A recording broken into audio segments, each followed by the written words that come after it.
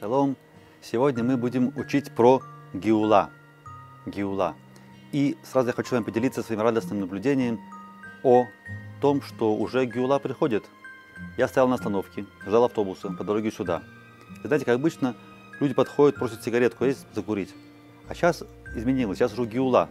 Подошел ко мне парень один, и первым делом, даже он только что меня видел, я вообще я его не знал, он меня не знает. Первую секунду, вместо того, чтобы сказать, есть, есть сигаретка, он говорит, есть шихахидуш, есть шлихахидуш, он говорит, садик, есть шихахидуш. Он попросил э, э, хидуш и дура, что-то, что сказал, какую-то двор Тура. Видите, уже люди уже жаждут Тору, сигарету уже никого не интересует, уже Тору, Тору, видите, на остановку люди подходит, есть двор Тура, ну разве это не Гиула? Это настоящая Гиула. Есть много-много еще признаков Гиулы.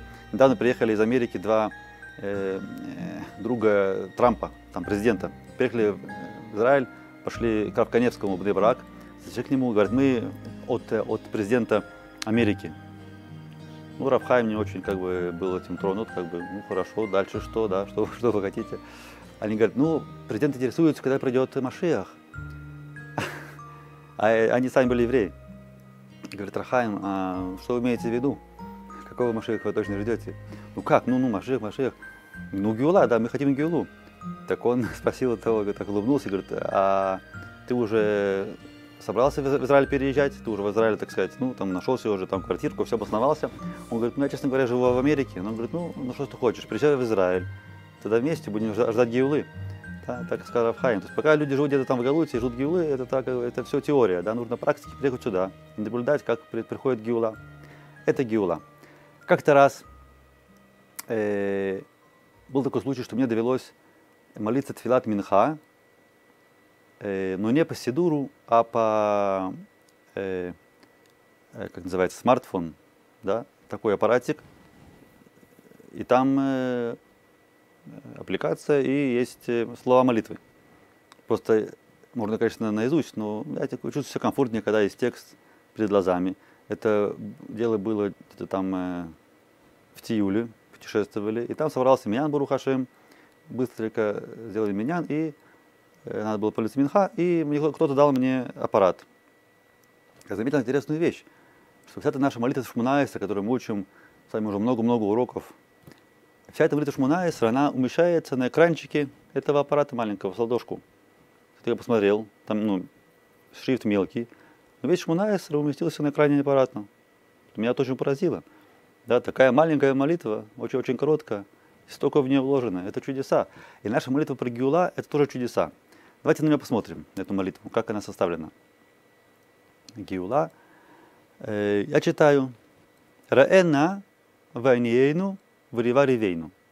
То есть заголовок Гиула, написано в Сидуре, а мы начинаем вместо Гиулы, мы начинаем с Цорес, да, с проблем. Реэна вайниен варива ревейну. И только потом у Гуалину Гиула шлема мираламан шмеха.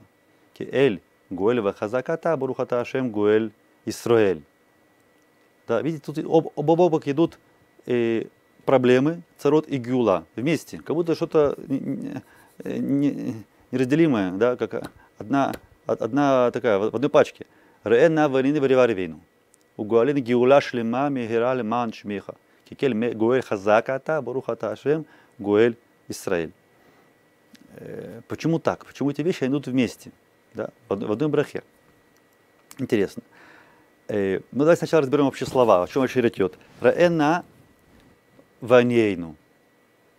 Ну, раэ – это смотри. Да, ре или рот, смотреть, увидеть, смотри. Ре на, на, как бы, пожалуйста, да, ре на, в аниейну, аниейну. Это слово аниейну, оно взято из Торы. Есть посук в Торе, книга Дворим, Перек Кавзайн, посук седьмой. Там такой посук написан. Венецак, эль Ашем Элюкей Авусейну, Вишма Ашем Эс Колейну, Вияр Эс Аниейну, Веса Малейну, Вес Лахацейну. То есть написано «Вияр эс аниейну» и увидел Ашем аниейну, Ункилус переводит цааран, наши царот, царот, цаар. Да, даже, не, даже не царот, это больше как цаар, цаар.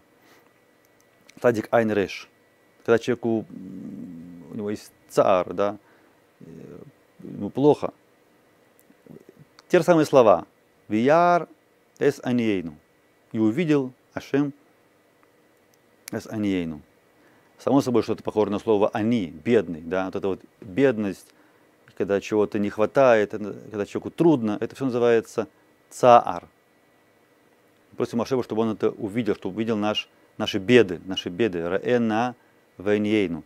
Написано в послуке, что, что мы, что евреи кричали, да, кричали мы Ашему, и тогда он нас услышал и увидел наши царот. И мы тоже в этой брахе мы кричим мы кричим Ашему Реэнаца Банейну. Сколько бед евреи пережили на, на протяжении всей истории. Это не нужно рассказывать, это все сами знают. И эта молитва, она во все века, да, она поддерживала евреев и спасала. Реэна Ванейну Рива Ривейну. Что такое Рива Ривейну? Рива Ривейну. Как бы рив, для рив, это как бы ссора да, ссориться, лярив. То есть, э, дословно мы бы сказали, что и ссоришься ссоры наши. То есть, у нас есть какие-то ссоры с кем-то там, там, другими народами. Мы с ними поссорились, они нас притесняют, мы себя не хотим давать притеснять, как бы поссорились. И, и ты за нас заступись, и ты ссоришься за нас, да, будь на нашей стороне. Да, по-русски как бы заступись на нас, за нас. Рива ривейну что пишут в Сидуре. Взгляни на бедствия наши, раэна венейну, да, взгляни на бедствия наши и заступись за нас. О, я этого не читал, я, видите, называется киванти лидат гдулим. Правильно перевел. Заступись за нас. Рива ривейну. Рив это ссора, а ты ссоришься наши ссоры. Что значит ссоришься наши ссоры? Ты заступись за нас. Рива ривейну. Галейна Геула Шлема Мегера Леман Шмех. Это вторая строчка. Вторая строчка. И после этого будет уже Геула. Галейна Геула Шлема Мегера. Магер, быстро. Лемаан Шмех. Ради имени твоего. И есть еще посук, на котором на самом деле основана эта молитва. То есть я привел посуки из, из книги Дворим, просто чтобы показать, что такое аниейну, они. Да? бедствие, тоже по-русски бедствие и, и бедняк это слова однокоренные, да. Он бедняк, он бедствует, у него нет денег. Но кроме этого, у него есть другие беды, кроме того, что нет денег. Он, то есть, он бедный, нищий, но он еще и бедствует. Это слово анейну, да, то же самое на иврите. Но все это основано на посуке с книги Таилим. Давайте на него посмотрим на этот посук. Книга Таилим в конце это Куф Ютет, 119 Таилим.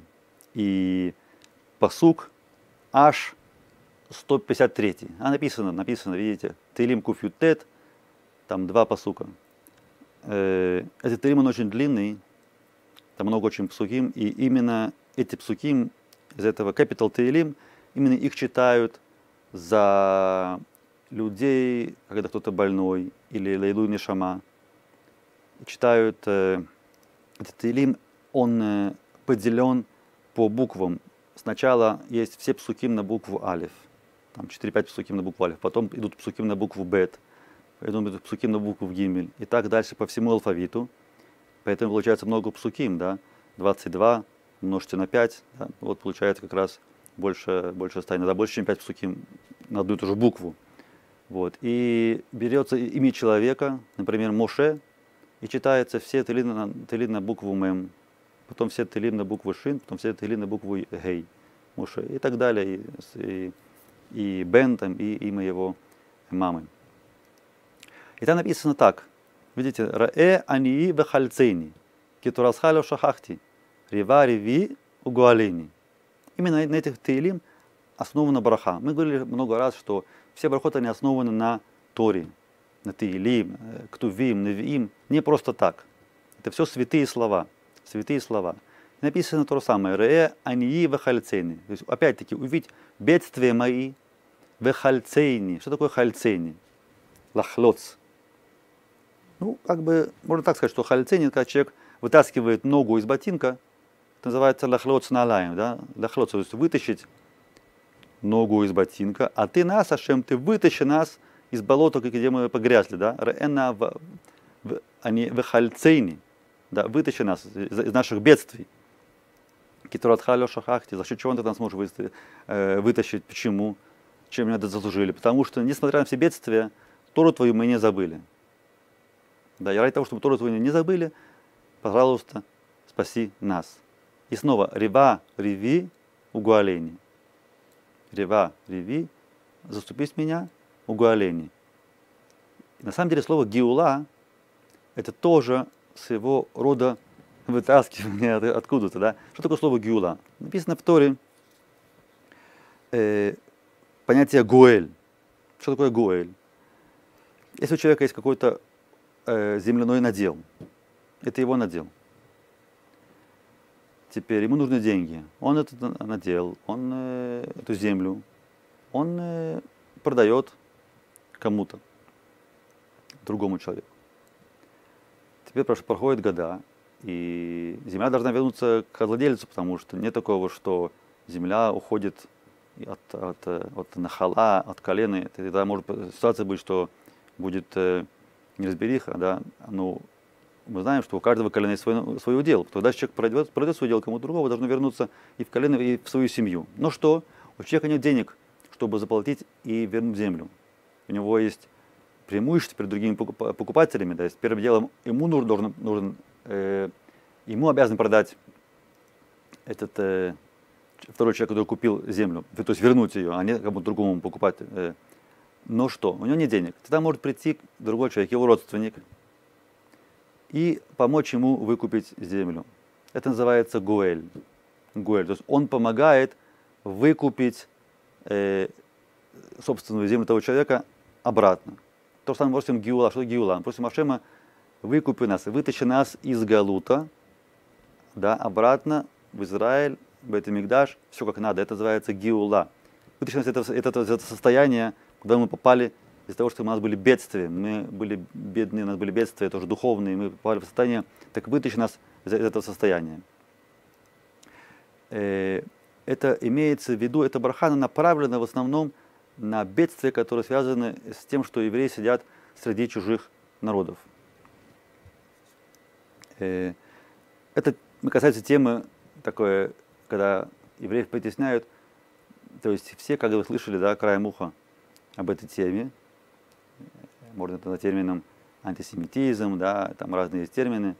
То есть в любом случае отношение к евреям, оно как бы не, не как сказать, такое, не нейтральное, да когда заходит тема евреев, как бы люди начинают дышать неровно. Либо, либо это может быть юдофобия, наоборот, да, у евреев, евреев, евреев, либо антисемитизм. Ну, как-то отношение, кстати, мягко говоря, особенное.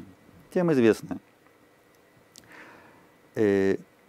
Так вот, именно из этого вот э, состояния, когда евреи живут в других народах, мы просим э, Гиула, чтобы нас вытащили из этого неудобного состояния, а это состояние, оно ненормальное для, для еврея. Да, то есть можно без напрягу посмотреть по сторонам и увидеть бедствие евреев, да, везде, в том числе сейчас, в Израиле, в наше время, все времена это существует. Поэтому браха, она постоянно-постоянно актуальна. И в конце написано в настоящем времени, да, Барухата Ашем Гуэль Исраэль, в настоящем времени. Не Гааль, не Игаль, не прошлое, не будущее, а именно настоящее время, потому что это постоянно браха актуальная. Лиман Шмиха, написано в брахе Лиман Шмиха. Да, что такое лиман шмеха? Раэна абанейну, мы объяснили, в риваре вейну.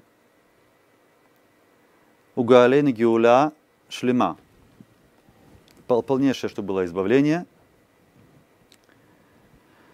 Э, Мегера, как можно быстрее. Лиман шмеха. Почему здесь лиман шмеха? Что значит лиман шмеха? Мы же только что сказали, что мы ради себя просим, да, мы твою Тору не забыли. Почему теперь написано лиман, лиман шмеха? Дело, дело в том, надо понять, что э, есть связь между нашим освобождением, страданий и именем Творца. Какая связь? Очень простая. Если, если ходит еврей, такой небах, бедствующий, да, то что он скажет про него другие, что скажет про, про Бога евреев? Еврей, он как лицо, лицо Ашема. Да, он представляет Ашема в этом мире. Поэтому человек, еврей, по идее, он должен быть богатым, и веселым, и счастливым, и успешным. Это, по идее, так должно быть. И так было во времена царя Соломона, и так будет в будущем. А когда состояние не такое, то Шем Ашем, имя Творца, оно тоже от этого э, терпит какие-то, так сказать, э, неприятные отношения. Плохо говорят о вашем, видите, ну, евреи, ну, а что Ашем им не помогает и так далее. Поэтому говорили леман, леман шмиха. То есть в стране евреев, в стране евреев, они как бы принижают величие имени Ашема, его святость в глазах других народов. Иногда другие народы они могут более, быть более верующие, чем евреи. Такое бывает, да?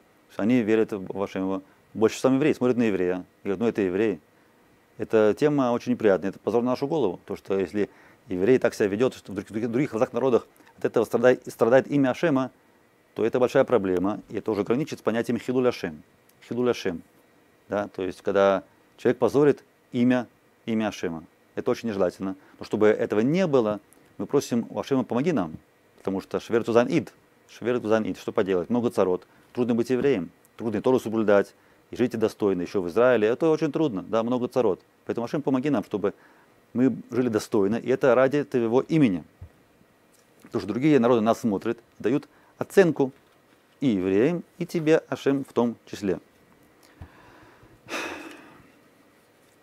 Так просим, чтобы из этой реальности ушли, ушли все бедность, грубость, э, ссоры, ненависть, тупость и так далее. Чтобы все были достойны э, образа жизни, как по Торе, как полагается. И теперь, после того, как мы сделали чува, да, мы сделали чува в прошлой брахе, помните, слиха, чува, и теперь после чувы, ну, неужели теперь нам не полагается гюла? Наверное, полагается, мы же делали чува. Да, тогда сделали чуву на самом деле – тогда удостоимся гиулы, и тогда просьба о гиуле будет более сильной. Еще только подчеркну один момент, что в этой брахе идет речь о не полнейшем избавлении. То, что там гиула, машиях, ахарит и амим, будущее, все, все хорошо. Это не это. Эта браха направлена, направлена на личное избавление и избавление от подгнета других народов. Да? в, в этом браха. А браха на полнейшее гиула, избавление, это есть другие брахот э, э, дальше в молитве Шмуна Исры. И мы сказали, что в конце, давайте взглянем на слова брахи, посмотрим, как это говорится. Раэна варива ревейну.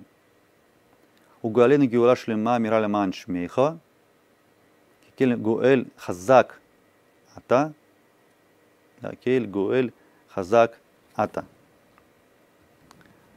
Да, ты же сильный, Хазак. Ты, ты Гуэль, Ата Кель, ты Ашем Гуэль, Хазак, как тот, который родственник, который пришел, чтобы выкупить землю. Он, это Гуэль. И это родственник, он, он э, богатый, он может выкупить большой участок, он сильный, богатый, Хазак, Кигуль Хазак Ата, ты все можешь, да, Хазак Ата, Бурух Ата Ашем, Гуэль, Исраэль в настоящем времени, потому что, как говорится, Ашем Тамид Узер. Ашем всегда будет нас заступаться, всегда нас заступает, нужно помнить, просить об этом. И, как говорится, Ашем Язор, Ашем Тамид Узер, Гуэль, Исраэль. Туда раба, браха, quando